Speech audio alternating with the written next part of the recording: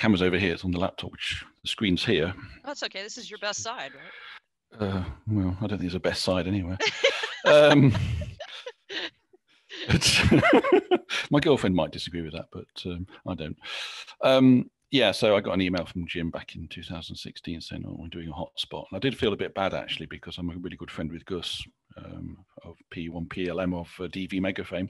Still am actually. He's a lovely guy, and um, so I felt so I sent him an email saying, "I'm really sorry, but there's going to be an MMDVM hotspot." And he said, "Oh, great competition," which is really nice. Oh, didn't that's, a, that's I didn't expect response. that.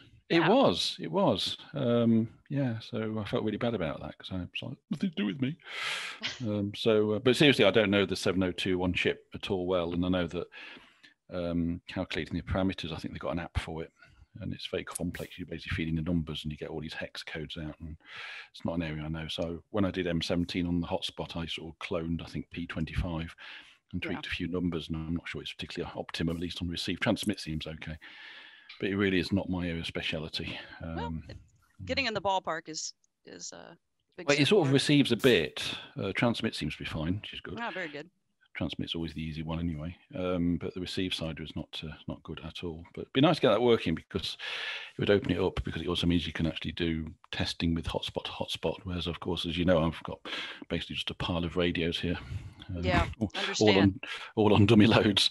Looking um, forward to it. It'll be a, that'll be a big step oh, forward. Oh, it'd be brilliant. Absolutely brilliant. I'm, I'm really happy about that because I've been working on the client today. I've been asking, adding extended text uh, to it and also GPS coordinates uh, I mean, it might, all might all change, but you know, I'm, I'm putting it in just to see if it works and passes through the network and everything. And if so, we can uh, then tweak the format. But the idea is just to get something that works and see if we can just pass it because um, I've already me and um, oh, anybody running an M17 client, we're already passing text messages to each other. So on the touch screen, uh, we can actually see each other's names, which is quite nice. Excellent. Sounds like um, a really good progress. Well, hey, let's go ahead and kick off the meeting, and then we'll, we'll I'm sure that we'll pick up on these subjects just in a bit. Thank you all for coming. Very appreciated. Taking time out for meetings is a big deal. Uh, thank you. And there'll be some introductions uh, and discussion following uh, some very brief remarks. Uh, we have at least two technical questions that need to be answered. Uh, one directly affects the protocol definition. There are some differences of opinion on the end of stream. And there are multiple ways to do this, and all of the different ways have uh, different assumptions and different axioms and stipulations and reasoning behind them. And if all we do today is clearly identify what we've been talking about, um, and that if those if those different ways need to be tested in simulation and over the air, uh, then that's a big step forward and a, and a big victory. Uh, documenting all the different choices that we make along the way and showing the process of decision making is a super huge value uh, in any open source project. And the other question uh, affects the usability testing, verification, and validation for the silicon path. Um, that's the bit error rate testing, um, BER testing. So I hope you all will help me uh, see why there would be any resistance to better visibility with respect to BER testing. Because um, I'm I'm looking forward to hearing more about this because those those regimes and, and different standards are going to be required to go to silicon. Uh, it's going to be required for more data centric media. And it very well will be expected by commercial partners. So I'd like to talk about the bit error rate questions um, and, and so y'all can help me understand where we're at. Um, and so those are the two technical questions. The, the technical work is, is not honestly not the most important part of meetings like this. Uh, working together successfully is. Uh, there have been some people who have spoken up about feeling unheard, unappreciated, uh, and uncomfortable with some of the way some of the technical discussions have gone. This meeting alone is not going to fix that, uh, not going to, not intended to fix it, uh, but it can start the process, developing more of a, of a history of working together really well. So for the next hour or so, um, put everybody else in the best possible light, even if it feels like you're the one that has to carry the burden, um, and be generous with the benefit of the doubt if anything comes up. Um, so I'll, I'll kick off introductions. Um, my name is Michelle Thompson, W5NYV. I'm the co-founder and current CEO of Open Research Institute. We're the fiscal sponsors of M17. I have a master's in information theory. I run a rural telephone company We have a large fiber optic plant and we offer both broadband and traditional voice services. I've worked for Globalstar, AT&T, uh, Apiary, uh, Kyocera Wireless, uh, a couple other places. Uh, serve on technical advisory committees for Virginia Tech Space Industry Advisory Board, ARRL, and I've applied for position uh, as a TAC for the FCC. So we'll see how that goes. And that's uh, that's my background. I do a lot of volunteering in and out of um, out of technical work. Um, so, so please, uh, would you please introduce yourself, uh, starting with Ed?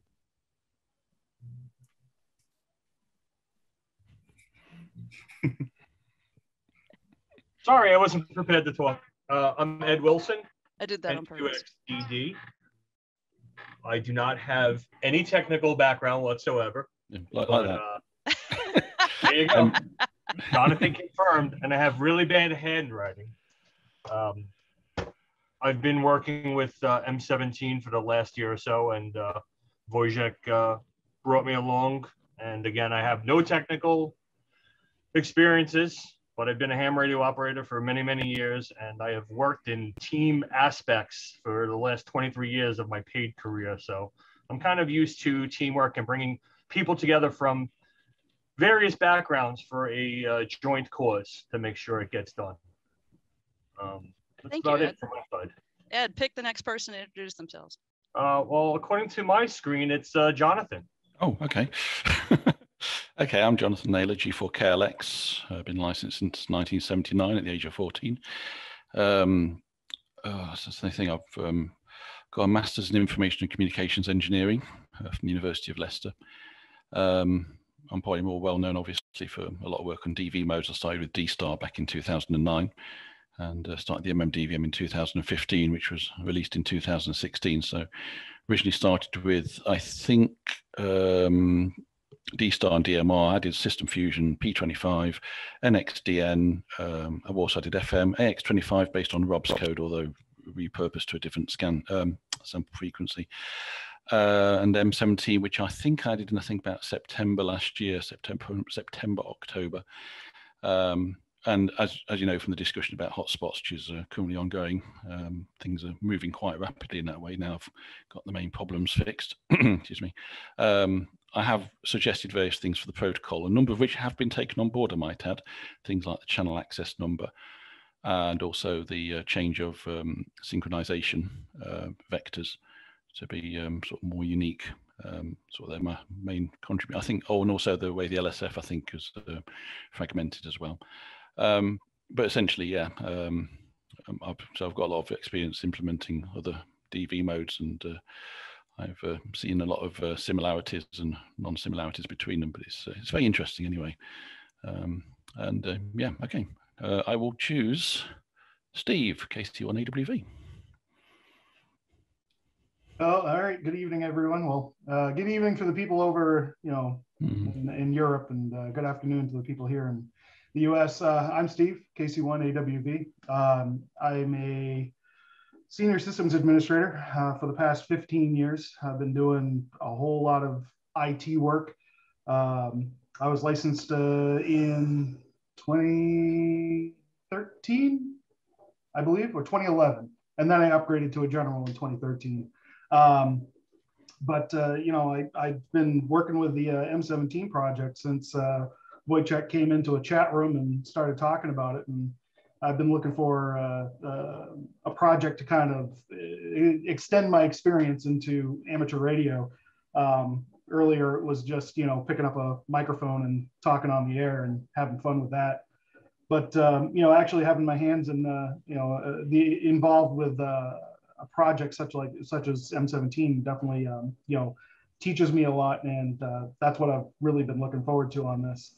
Um, the M17 project, really, I, I, don't do a whole lot as far as the protocol, the spec, or you know implementations or anything like that. I, I just basically kind of take the uh, pieces that people have been developing and put them into uh, action to see uh, how well they work. And um, you know, uh, along those lines, I've been learning a lot. You know, as far as uh, understanding how you know radio works and uh, you know the math that's involved and um, you know the systems that we have to develop in order for these things to happen. So Um, I do a lot of the web development and a lot of the um, management of uh, you know the chat and and communications platforms while ed does a lot of the moderation for that. Um, you know i'm the one that runs the systems behind the scenes and um, i'm also going to be building the lab uh, for m17 here in the united states. At least one of them hopefully there'll be many. Um, but yeah i'm going to use that to uh, uh, further my development in amateur radio and, and developing m17 so I'm definitely looking forward to that um, yeah, I'm just a simple uh, systems admin making my way through uh, amateur radio. So this has definitely been a learning experience for me, and I enjoy working with everybody that's here. Uh, and I'll go ahead and pass it over to Rob because he's the one that's up next on my list. Hi guys, Rob Riggs, uh, WX90. Um, I am a, I've been a licensed amateur for about uh, 10 years almost. Um, I'm a software engineer. Uh, I currently work in the fintech industry. Um, and about eight years ago, I founded Mobilinkd to sell these uh, TNCs that I developed for APRS. Um, and uh, that was just supposed to be a side hobby project. And it's uh, basically taken on a life of its own um, to the point where I'm having to make a decision whether or not to just dedicate full time to, uh, to, to that project. Um, but beyond that, I've been doing, um, I've been a software engineer for uh, 30 plus years now. Um, I've been involved in a lot of open source development um, and uh, started working on, um, well, I've been very interested in electronics and digital signal processing uh, for a while and recently picked up um, M17 when I saw a post by uh, Wojciech on, uh, on Reddit um, and piqued my interest and realized that with an open protocol, I could actually um, do the implementation uh, in the TNC um, and take it on from there. So um, I think the first implementation I had was actually done in Python on a notebook around November timeframe, um, and then quickly converted everything over to C++ uh, where we have a standalone um, Linux client that can work with RTL SDRs, um, as well as embedding that into the, the, the TNC3 uh, and some additional hardware platforms that I've been playing around with. Um, yeah, so that's my background. Um, I is there anyone else? Oh, well, Mike and Wojciech. Wojciech, you're up next. Okay, thanks, Rob, and hi guys. Uh, so I'm Wojciech SP5WWP, and I've been licensed since 2016, so not, not a long time. And I've started M17 back in, uh, I think, 2019, uh, at the end of the year, I think, somewhere around, around that. And uh, I have no higher education and I'm an autodidact. Uh, so uh, I've got the first uh, implementation of M17 in a handheld, and it was back in 2020, uh, I think. it was winter, I think. I was running around the city and transmitting. Uh, so it worked. Uh, but the 4FSK uh, decoder was, um, it wasn't coded by me, it was just a part of the SI, uh, the Silicon Labs chip. So I just got the, the, not the baseband out, but rather the bitstream out. So I just had to um, unframe it and pass it to the vocoder and do the other stuff. So there was no uh, no trellis, no Viterbi, no convolutional encoding and decoding, nothing like like that. Uh, but it worked, so it was my first implementation. Uh, so that, that's it, I think, from me. Is there anyone else on the call? I can't see all of the members. Oh yeah, I think you're you're next, Mike. Ah. All right. So my name is Mike. Uh, my call is W2FBI. I was first licensed in 2009, and uh, just as a small point of uh, interest, that call is actually from my great grandfather out on Long Island in the 30s. So that it's W2 FBI, but it was FBI before the FBI had become the FBI. They were still the Bureau of Investigation. And then when the FCC went to the new call system and took over from the previous organization, uh, that's the call he ended up with. Uh, I am a software developer. I kind of got started with MD380 tools when Travis Goodspeed had first posted that one one byte uh, promiscuous mode hack where you could suddenly decode all DMR traffic on this handheld. So that's probably where I feel most comfortable is uh, playing around with open source software in ham radio. I'm sure that's true of all of us. And uh, that particular platform, I have a lot of time doing not code on the radio itself, but support software, code plug programming, firmware upgrading, everything like that. That's part of where where DMR.tools came out of. Is it's an online project about doing support software for those radios and similar ones like it eventually. And uh, I've written code for a lot of different things. I kind of jump from project to project doing little things that interest me. I don't have a lot of background in terms of credentials, but uh, I enjoy I enjoy playing around, and that that has gotten me pretty far so far. And I think that concludes the introductions. Yeah, thank you, everyone. Back to net control. Very good. Uh, well, I'm, I'm, I'm here only only to serve. Uh, what I'd like to do is to cede the floor for discussion uh, about any technical issues that are that are pressing. So the two that have been raised most recently in the agenda is uh, end of stream and, and BER. Who would like to start? I'll start on the um, end of stream. Um, I Okay, don't have thank you. I don't have I don't have much to say on BR anyway, but uh, um, yeah, my my thinking is is that current, as currently defined, the end of stream is a simple bit within the FN, uh, the top bit, uh, which you know with below BERs is actually fine. However, um, if you do have a problem with the BER, and we have seen it occasionally, certainly on my system, I think there's actually maybe a bug actually in the modem, but even so, it's it's an interesting and useful test. Sometimes, and this is a, probably to do with the way convolution codes work, is that if the convolution code is having a bad time, it'll often set a lot of bits correct, or sorry, a lot of bits high. And through that, I often saw uh, the end of stream marker being set and causing the, of course, the system to drop out and then come back in very, very quickly afterwards because the RF was still there. Thinking about this, I thought this is not the strongest way of doing things. Um, but while we had the checksum on the payload, then it was less of an issue. However, our, the checksum was taken off, which I'm fully in agreement with, I might add, absolutely fully in agreement. But obviously, with the checksum off, it means, of course, that we can't absolutely guarantee things. There's always an element of, um, what's the word? Things could be wrong. Uh, there might be a bit, you know, one or two bit errors. Uh, saying, but getting rid of the checksum, I think was a fine and worthy thing to do. I've got no issues with that whatsoever. And and so looking at this, and because it was dropping out from time to time, it's not every over, not not it's not that bad, by any means, but you know, it was there was a certain amount of ambiguity there. And so I thought one of the best ways to do this, and in fact, the way that's done by, let me give you a list: DMR, NXDN, DPMR, um, what have? Oh, I mentioned DMR. Um, and probably all other ones as well. They what they do is that they transmit essentially the header format as their end of message with a different type in, by the way.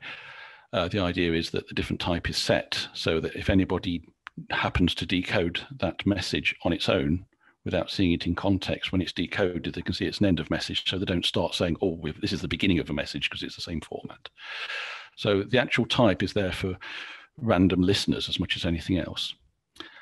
As the receiving station receiving the stream of data, all you need to do, sorry, Hmm? I thought I heard something. Um, That was an echo. Okay. um, with um, with M17, we're actually in a very nice position, like DMR, that the synchronization um, symbols are different between the header and the stream data, which I think is a very, very good thing. And this means that once you're receiving a stream, your receiver can correlate I do say correlate on purpose here because correlation is actually a very powerful tool. It is possible to correlate that sync.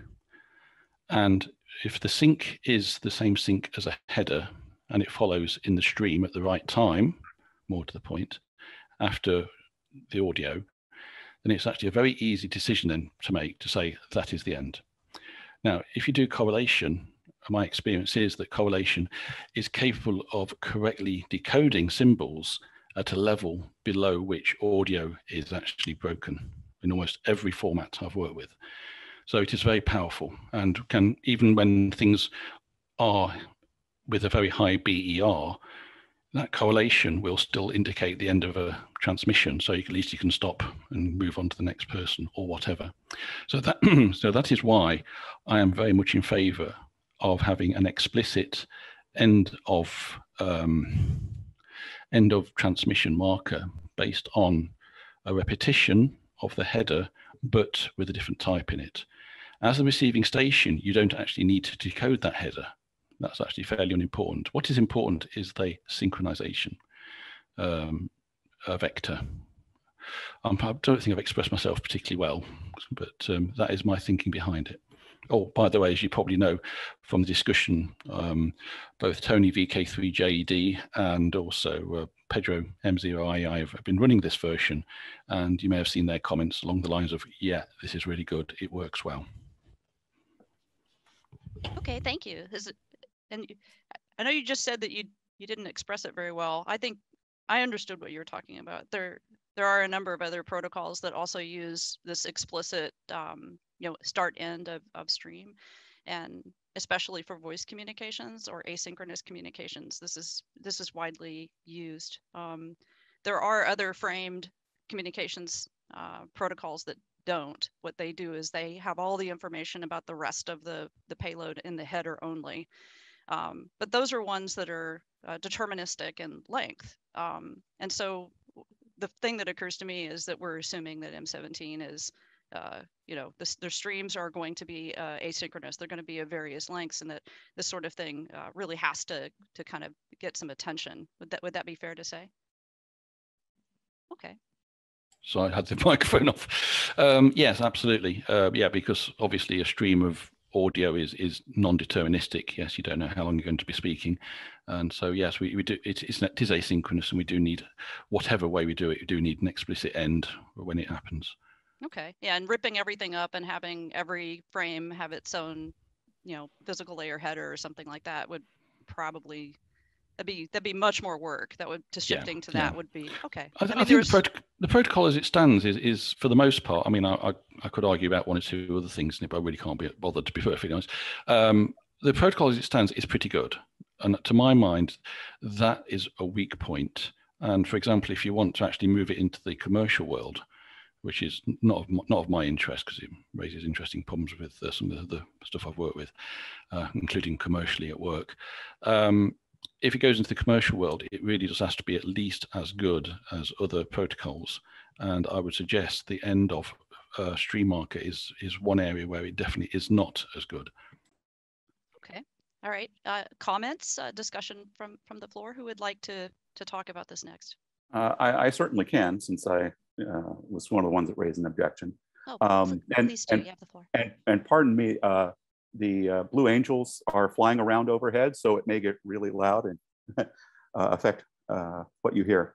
Um, so I think that there might be a.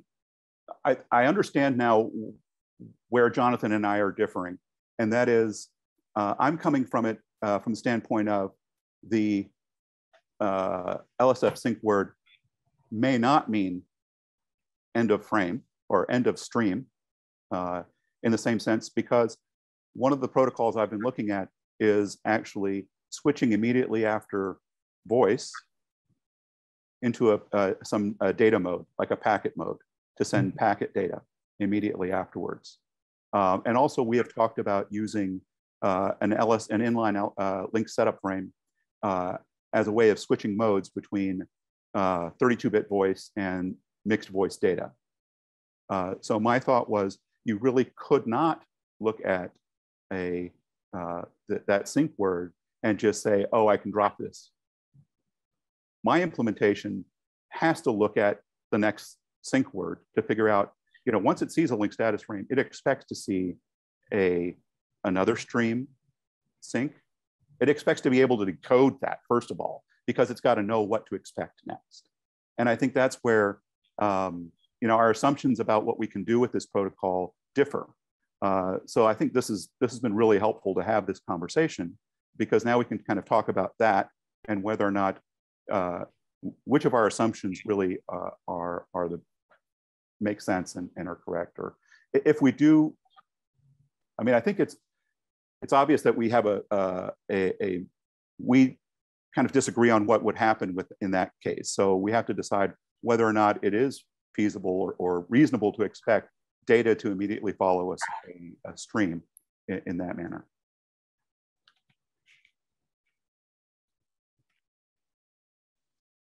Okay. So I, that's yeah. a. That's... I've got to unmute oh. myself. Sorry. Um, oh, sorry. Um, go, go, ahead, Jonathan. Yeah. Um, I must admit, packet mode in itself doesn't actually um, interest me. I've actually just taken it out of my um, hotspot implementation.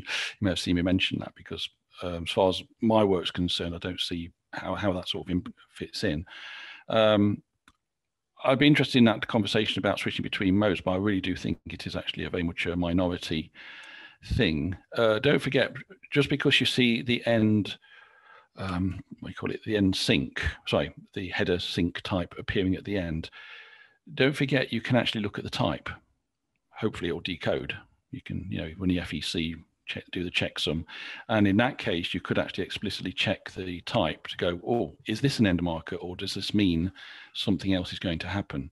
Now, as, as a pure digital voice implementation, I would probably look at it and go, unless it's more digital voice, then I'm not going to be interested anyway. So I'll just drop it and do an end of stream marker. But um, so there is a type associated with it. Obviously, if you can't, if the FEC is too badly corrupted and we can't get data, then we, we then have to make a decision, and my decision would be probably since since I've seen the header, I'd probably drop it, and in theory, it'd all come back in again anyway. Um, in due course, you know, matter of a few hundred milliseconds later. Um, but yeah, um, I'm not sure what else can say about that, to be honest. Okay, thank you. I can add something. I Please. Think. Okay, so if uh, Jonathan wants to use an LSF uh, frame uh, to indicate the end of the stream, uh, keep in mind that uh, the LSF is more heavily punctured uh, convolutional code than the voice packets. Right, Rob? That's correct, I think. And you want to use one bit of the type, which is more prone to errors than using a voice packet and using even one bit uh, of the. No, you, have got me wrong, actually um, I am talking about looking actually at the sync sync word with correlation, so, which is so the sync word plus this. Uh, no, no, no, not necessarily.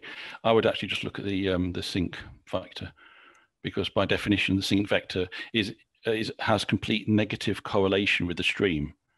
Um, when I when I gave you those new sync words, I was very careful about it. The sync word for the header is the exact opposite of a stream sync word.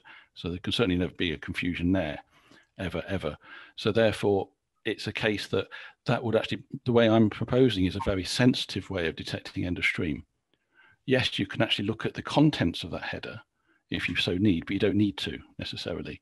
That the reason you have the contents of the header saying this is the end of the stream is in case the repeater accidentally picks up just the end frame, you know, because of interference, whatever. And you can look at it and go, oh, I've got a header. Is this the beginning of something? And you can look at it and go, oh, no, it's the end.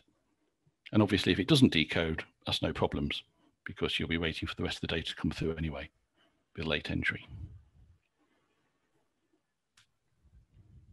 Okay, so in theory, uh, we've got four different sync bursts yeah. and uh, they all they are all composed of minus and plus three symbols yeah. to get deviation as, as much as possible.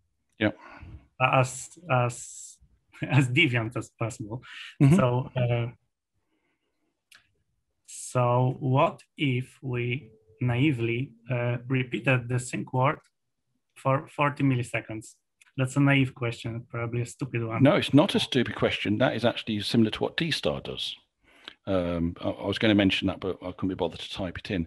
I'd, an alternative way to do it, and this is exactly what D-Star does, and for, for all its faults, D-Star is not a bad protocol. Um, what it does do is it actually has a unique sync thing, which is actually much longer than a normal sync. The normal sync in DStar is quite short. It's GMSK. Um, it does actually have a unique end marker of I think it's 32 symbols. Very much GMSK, so it's just ones and noughts. It's not as complex as ours. And yeah, it's, it's got a long um, sequence, which in theory will never appear in, a, in an audio stream. And certainly it does, it does seem to work pretty well, actually. So that is actually an option which I did consider and I didn't document because simply because the only way I access uh, Discord is via my mobile phone and I really can't be bothered to type that much in. it's not ideal. I don't have it on my uh, laptop, for example. Um, so yes, I'm, I'm, I'd be very happy with that because that would be a very, very explicit end of stream marker that, especially with correlation, could be both sensitive and unique. And that That's is exactly what we want.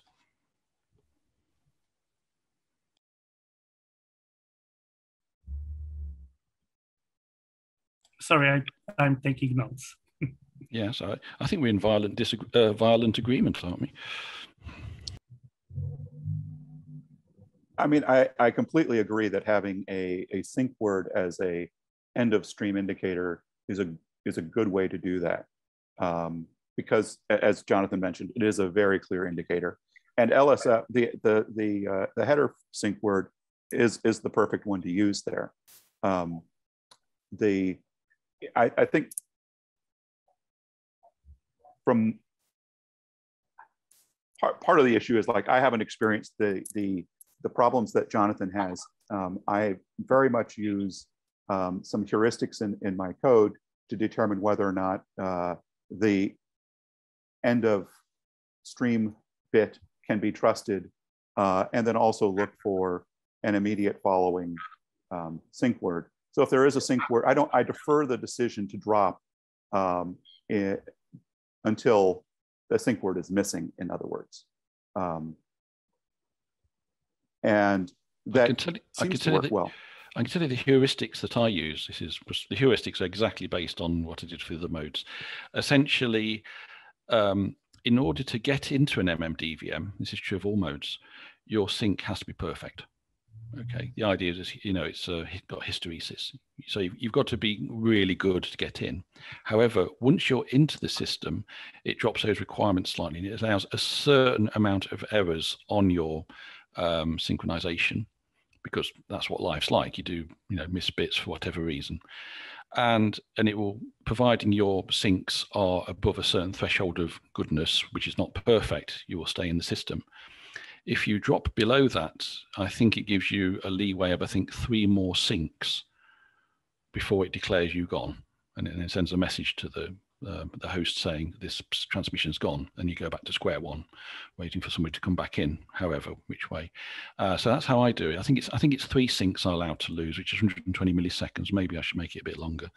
I don't know, um, but that's how I do it. And of course, when you go back to zero, then you have to have a perfect sync again to get back into the system uh, so that it doesn't trigger and spend time trying to decode stuff that's mostly rubbish, but allows for the fact that once you're in the system, you may be less than perfect. And I have found that on other modes to be a, a pretty good way of doing things um, because you, you can't guarantee things are good all the time, mobile, Flutter, or whatever.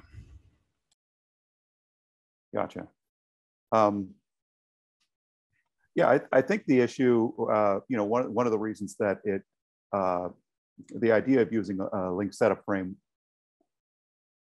was problematic for me is it would it would affect the um, state machine that I currently have, which does expect you know a link setup frame to be pre to, to precede some other information, right?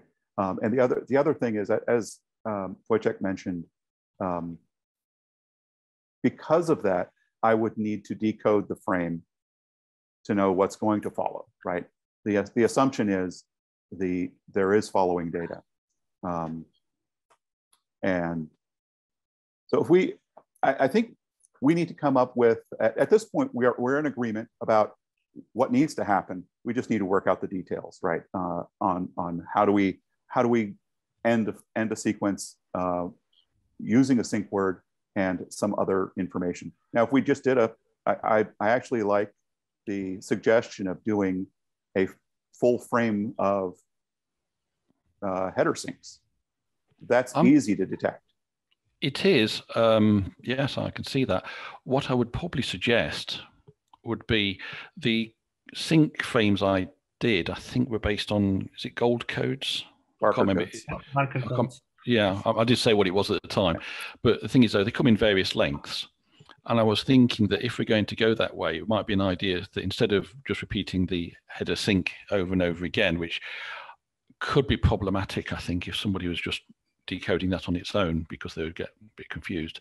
It'd be better if we actually had something entirely left field as a sync word, maybe one of these, a longer version of what we have now from the same family, and use that so that it can never be interpreted as a header. You know, it has its own meaning as close to 40 milliseconds long as possible. Does that make sense? Something entirely different that, say, cannot be misinterpreted. What if we um, use the same sync word that I've been using, I've been, I have proposed using for the bit error rate?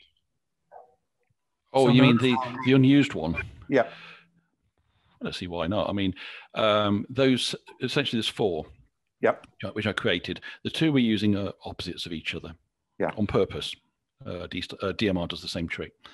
Uh, System Fusion definitely does not. It's rubbish that is. And the um, oh, I could tell you some stories about System Fusion. It's so weak. Um, and the other two are actually just bit reversals. Are the first ones. Yep. But they are a negative correlation to each other. Same thing. Um, I've got no no issues with that whatsoever. Um, I'm just want to see something stronger than using that bit.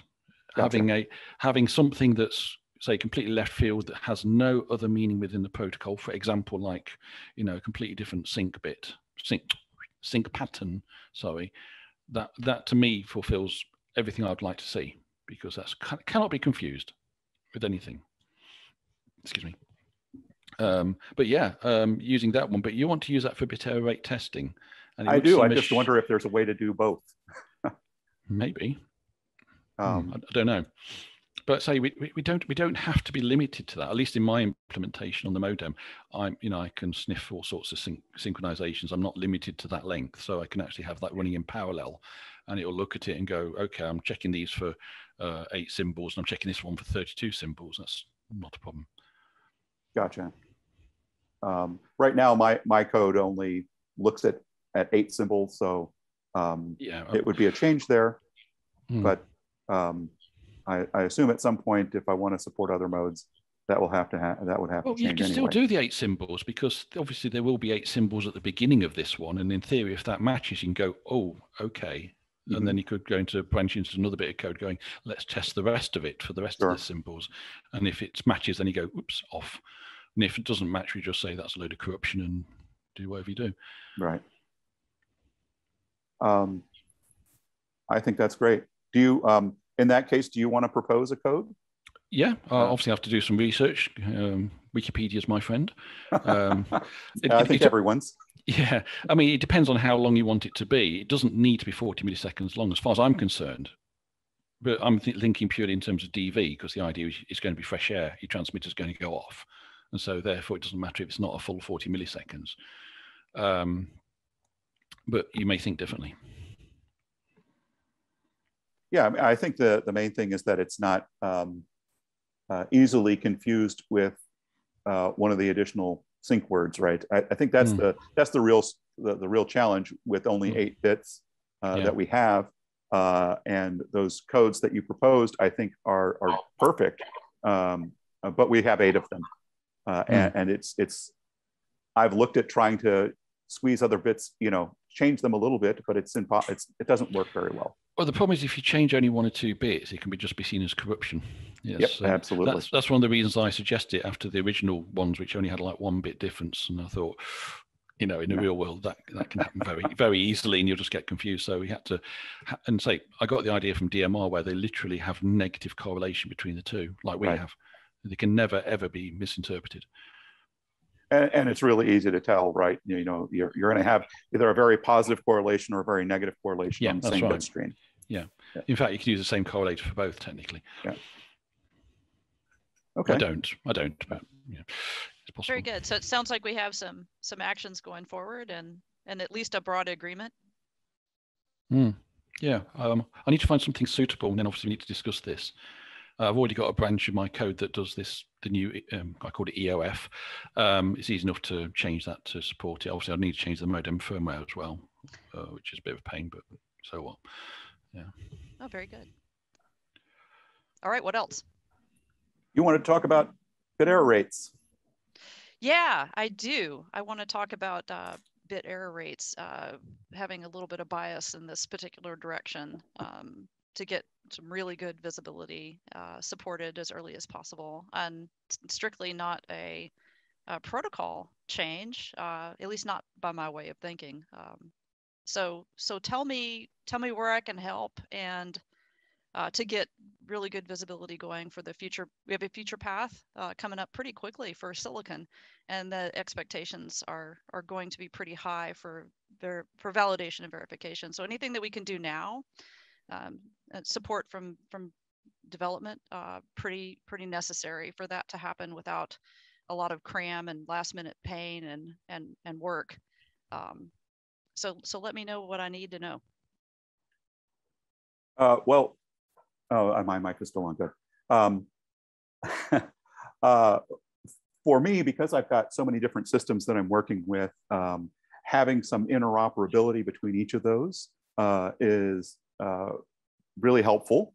Um, and so that's why I propose some interoperability and an interoperable standard uh, for bit error, bit error rate testing. Um, and it, it is just that, it's what I'm using and uh, it's a proposal. It's, it's probably, it's, I'm sure not perfect. Um, it's, it's working well for me. Um, but I was hoping to get, uh, you know, feedback on uh, what works, what doesn't, uh, and, and what's the right way forward because I don't have a lot of experience with, with that. Um, I do know that, you know, uh, none of the test equipment that I have is going to, you know, construct a, a uh, M17 frame for me and inject, uh, you know, pseudo randomized data into it. Um, it it'll generate pseudo randomized data, but I'm not going to be able to make sense of it because it's not in any frame format. So having a frame format, uh, and and I chose a a puncture uh, matrix that matches our our uh, stream payload because that to me made the most sense. Um, it, it, there are other we, we could certainly try other puncture matrices, um, but I, you know I'm I'm looking for feedback on on those sort of and that aspect of of the proposal.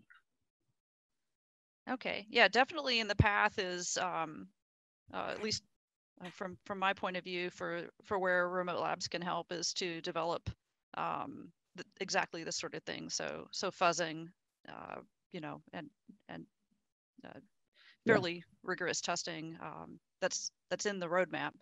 Um, so I, I perked up with with the with this work because it's all Yeah. helpful. And Well, Jonathan's provided good feedback. I mean, the initial proposal had a header frame in there, uh, and that's certainly not needed.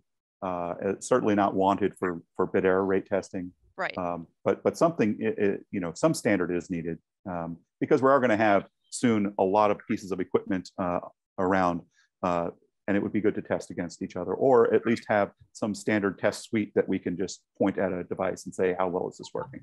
yes. All right. Hmm. Hmm. Um, I'm not sure about this. I'm.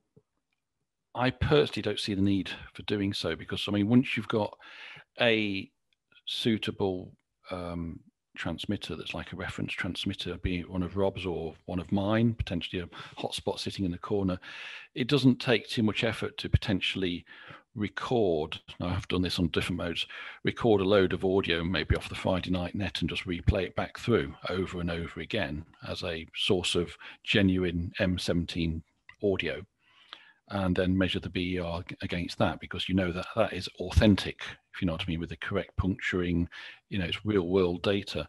Um, my stuff gives an awful lot of diagnostics about BER anyway, uh, both running BER and also the end BER. So from my point of view, once we have a working transmitter, we can potentially optimize receivers quite easily based on that. Um, so I personally would rather spend my time at the moment adding richness to the uh, client, for example, uh, like GPS data and things like that, which we've talked about, and see if we can get that through. Yes. So I, Yeah. I'm actually more interested in doing that rather than BER stuff, which I can Right. say I can read out my logs anyway. Right. And I, I think that there is no conflict here whatsoever. So the, the work that, that, um, that I'm interested in, in doing in order to, to move to silicon, you know, which is really not very far from the work that you already have in your code base, honestly. It's not that, not that far. Um, these things are not, not in conflict and do not prevent each other from happening in any way. So I say, go for it. Uh, please proceed. And, um, I think that, that, um, we'll be able to do like the some of the some of the protocol fuzzing and some of the valid, validation and verification very soon. Um, if there is anything that we find, and the goal is to not find anything by doing these tests, the goal is to confirm that the, the all these choices that we've made and talked about over over over time uh, have been good ones, and, and that you see evidence of the solid engineering. Um, so that's the goal, and and as a uh, raging optimist, my expectation, um, you know, but the the testing, the sorts of sorts of testing, protocol testing, and injection and things like that. If it does reveal something, well, then good. Then we'll know uh, we'll know what to improve. And those two things are are are not they do not get in each other's way. Um, so uh, uh, please please proceed with the things that that uh, you're motivated and inspired to do, and um, I'll I'll probably be talking to Rob a little bit more about this to try to see if I can help out and if we can formalize some of this and develop the the thing that would be really awesome and that would be a test suite that you can point uh, radios and implementations too. So I think we can have both things. All right. Anyone else?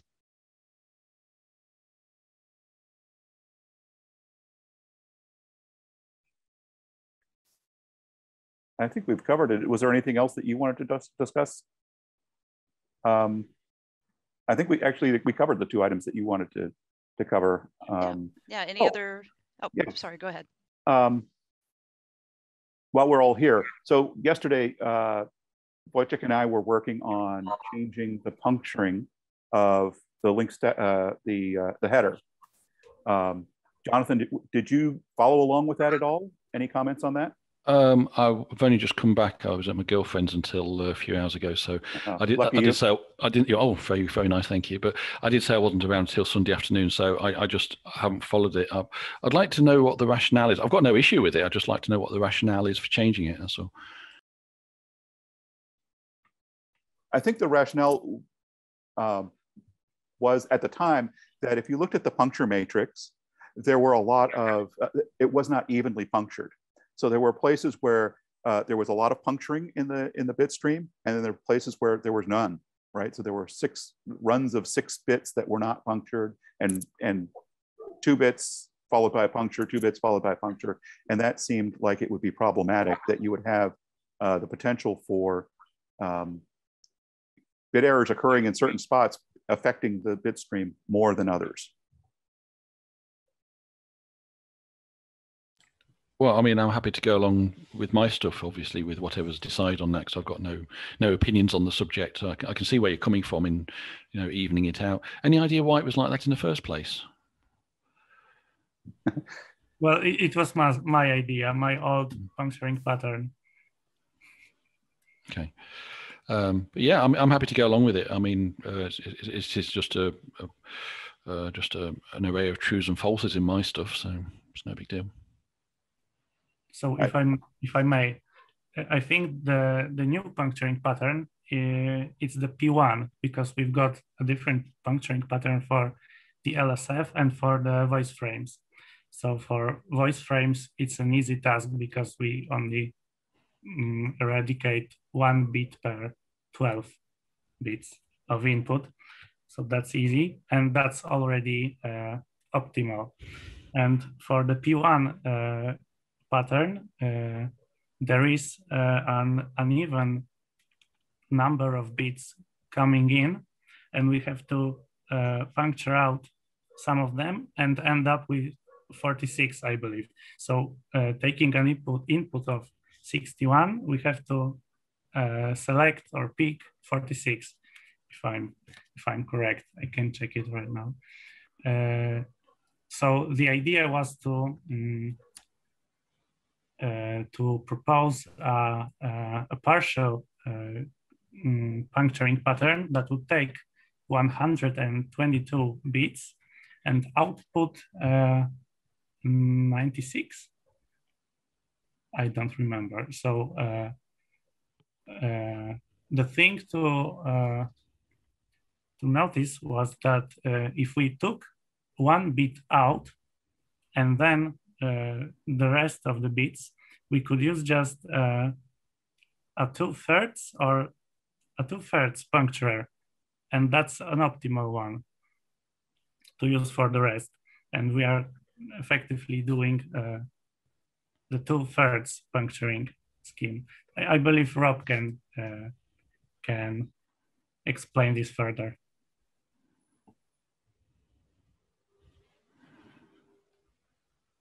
Yeah, I mean, I don't know how much more needs to be explained. It was just uh, the closest we could get uh, with the uh, odd number of bits that we had to a, to an even uh, two thirds puncture matrix. Um, it seems to work. It, it, seems to work fine.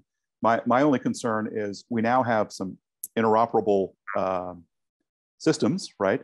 And so this is a backward, this is a breaking change. Um, you know, do, do we want to have some sort of a flag day where uh, we decide to make this change or do we just go for it today and any uh, excuse for a party i mean generally speaking I don't think there are many people, for example, running MMDVMs against your TNCs. It tends be MMDVM to MMDVM. And probably no, TNC. but they are using the C++ code uh, with RTL SDRs. Yes, but uh, the number of people we're talking about is still relatively low. So oh, yeah. I would suggest at this moment in time is a time like the end of end of message. This is the time to do it. No, no later.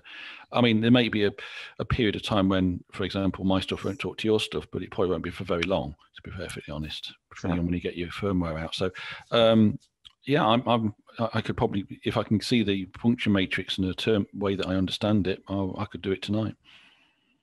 So it's uh, a quest, question of the the probability, the uniform. It went back. It went to a uniform distribution from something that was not quite uniform. That was. That's the, correct. Okay, thank you. Yeah, I, I, don't think you know. By the time this stuff sort of filters through, because people know that my my code updates on a daily basis. It's famous for that. So anybody who's on the and bear in mind, uh, M17's in my beta version. It's not in the full released version still, and so people following that will be building their own software and will be updating regularly. So, you know, and as soon as I announce it on OpenDV, saying, look, if you're doing this, grab the latest, uh, but make sure you update everything to the latest. Um, people will do that because you say it's not in it won't it's not in Pi-Star, for example, for that reason because it's not in the mainstream on purpose until it's got to a certain level of um, maturity. Gotcha. Okay. Good. Very good. All right. Any closing closing comments, last questions, or uh, anything that you that you need in terms of resources, or are there any uh, challenges that I can help with?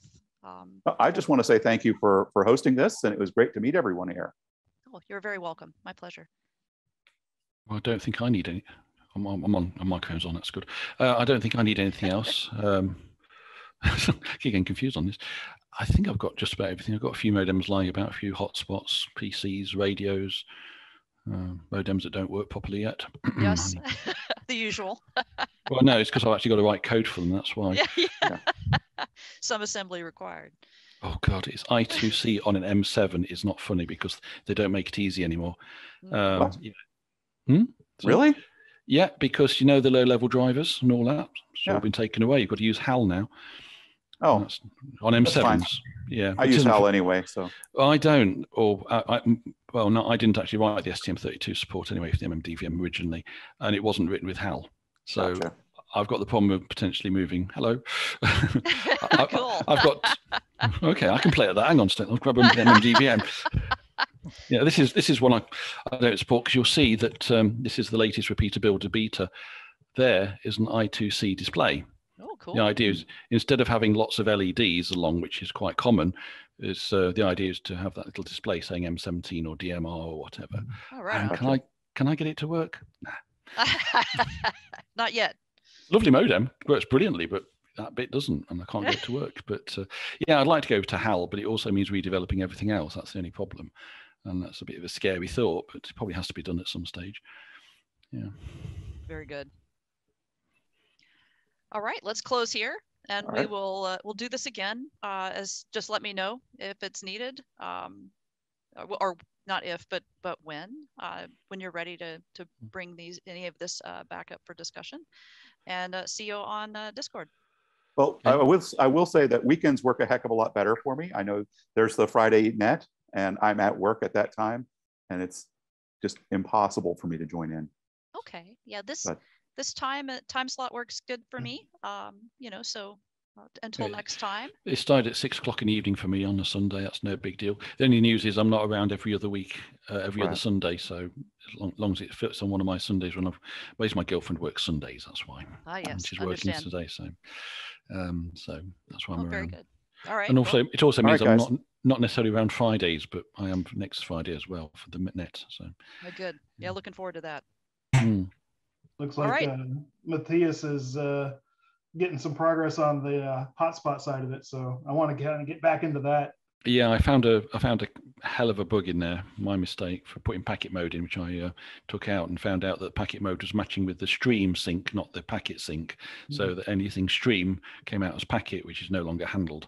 Well, it wasn't handled Yeah. handled properly anyway, so that was easy to Yeah, I got but- that. Uh, I got Oh, that firmware running on, on the uh, hotspot right now. So Yeah, I think we just need to get that, you know, receive side kind Yeah. of uh, bu- Yeah. worked out. And that's a black art to me. I'm I you know I don't know anything about that. So that's Andy CA6JAU, and he did actually look at it and change it, but obviously it's not quite right. We need him to get on M17 basically. That's the bottom line, isn't it? It'd be awesome to have him. Yeah. Yeah. It All right. would. Bye, guys. I do have to run. All right. Okay. Okay. See you soon, ya. Rob. Bye. Yeah. Bye, everyone. Adios. All right. Yeah. All right. We'll close here and I'll see you on Discord. Write me if you need Yeah. anything. Yeah. Okie dokie. See you then. See you folks. Bye. See you guys. Bye.